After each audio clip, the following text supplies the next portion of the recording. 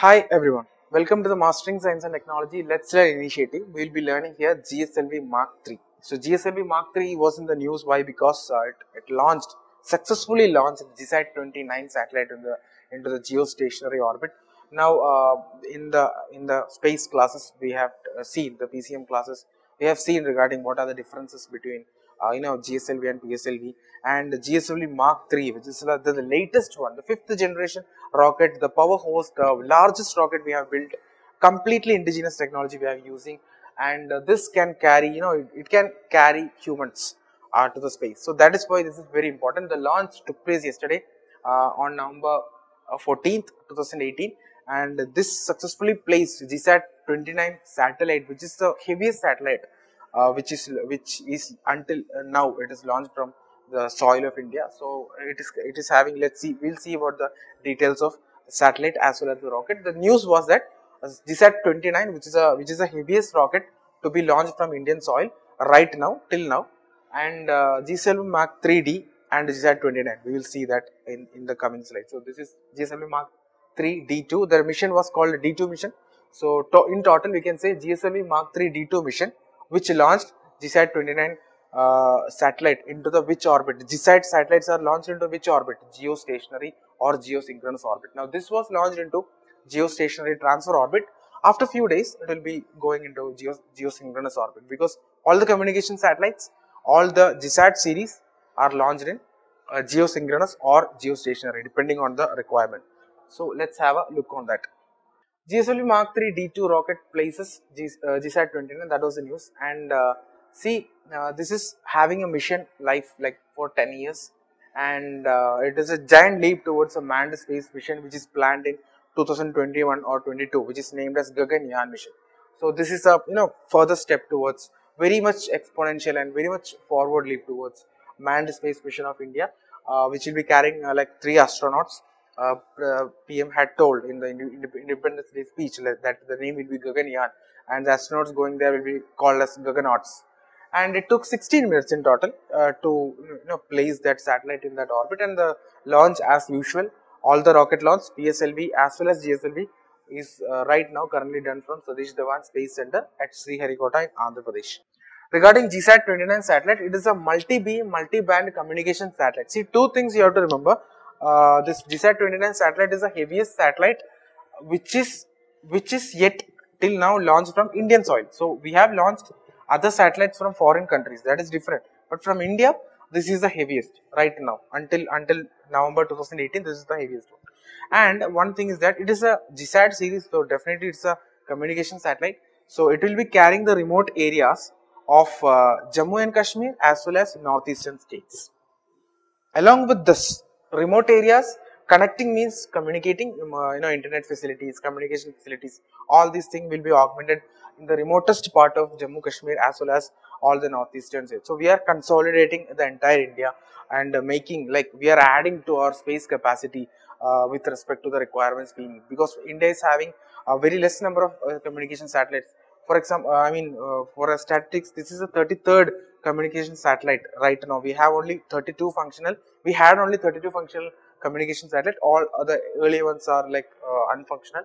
So this is the 33rd right now and this serves only the half capacity like half of the requirement of the total population uh, this, this 33 satellites only meets that much so this is a very uh, very giant leap towards it because we are having all the schemes like digital india initiative under digital india we have like op optic fiber cable project bharatnet project to provide last mile internet connectivity to the most remote village of india. So all the villages all the remote villages should be connected.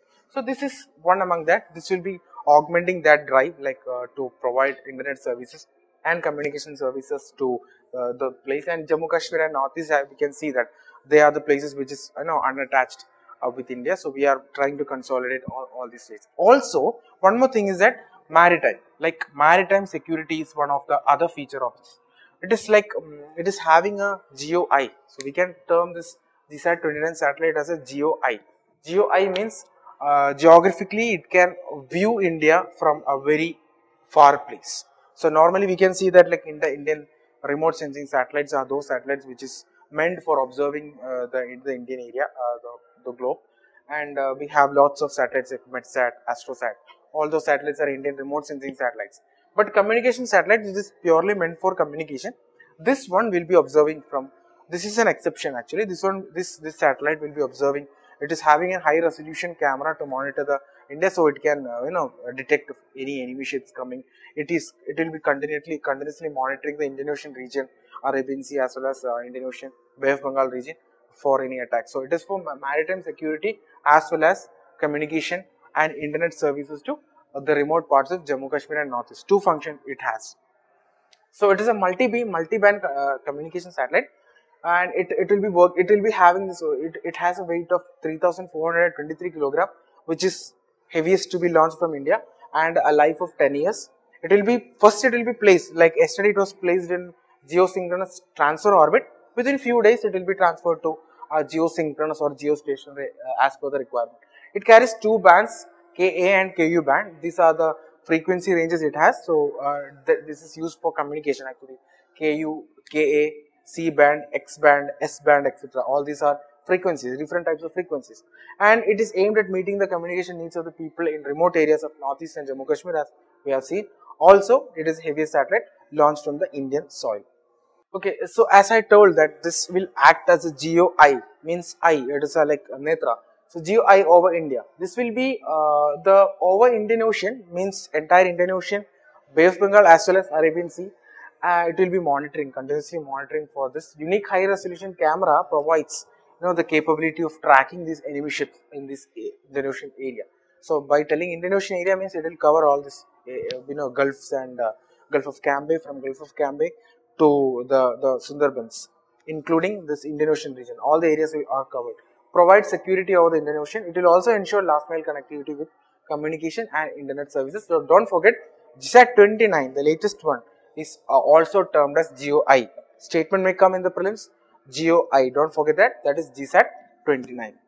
And it was launched by Mark 3, which is the fifth generation fifth generation rocket we are developing. First one was SLV, satellite launch vehicle. Second is ASLV, augmented satellite launch vehicle. Third one was PSLV, that is Polar Satellite Launch Vehicle. Right now we have PSLV and GSLV. The fourth one was P, uh, GSLV, Geosynchronous Satellite Launch Vehicle, uh, GSLV Mark II. This is the fourth generation, and GSLV Mark III is the fifth generation. So five generations of rockets we have, and as generations go on, we, the power increases, the weight increases, the capability increases. And so this is the most powerful rocket we have. It is also termed as Bahubali of ISRO. Uh, in, in all the leading newspapers, we can see that Bahubali of ISRO. So uh, that is regarding the satellite Geo India and regarding few things about the Bahubali that is Mark 3.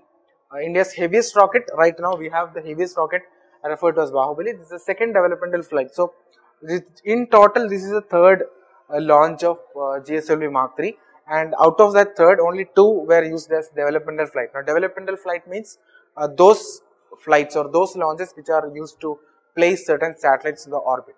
Experimental satellite means purely done for experiment purpose. So this is the second developmental flight. So two types of uh, flights or two types of launch we have experimental launches as well as developmental launches. So developmental launches means definitely it has a mission to place certain satellites in the orbit so this is the second developmental flight uh, of GSLV Mark III, and uh, this will be this uh, that the mass of the total mass of GSLV Mark III like five fully loaded passenger planes. That is what they say.